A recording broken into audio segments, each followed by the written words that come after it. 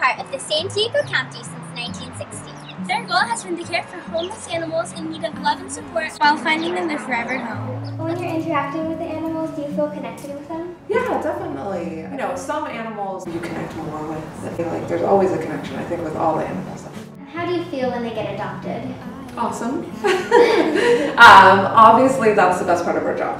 Um, I would say that's the main part. That's the part that makes you feel really good. And especially like even this last weekend, we had some dogs. We had a dog here that's been here.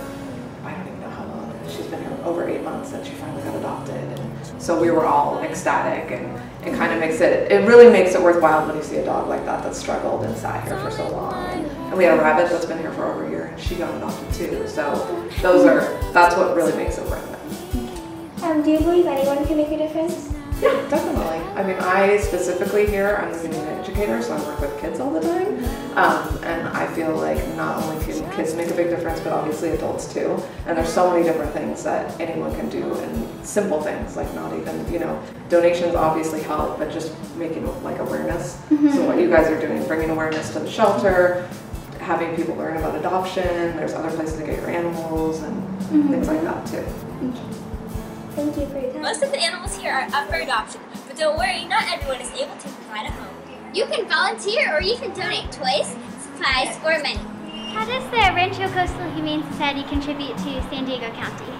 Well, San Diego County, uh, several years ago, there were no organizations that were going into the county mm-hmm. shelters and helping them, taking out the animals. Mm-hmm. And then there was a group called Friends of County Animal Shelters that mm-hmm. started. And when they started, they were the only organization that was helping the county shelters. Uh, today in San Diego County, there are 200 registered rescue organizations, and so Friends of County Animal Shelters became part of Rancho Coastal. So about 95% of the dogs and cats and rabbits adopted here have been transferred into us from other county shelters, city shelters, some from as far away as Hawaii or Texas or Arizona.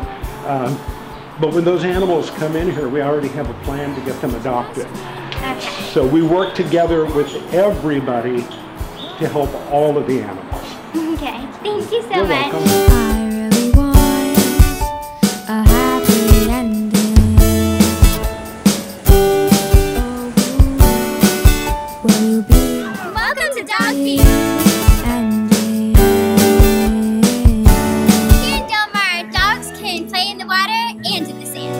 just want someone forever in the How about we go talk to some owners who have experienced adoption or rescuing their pet?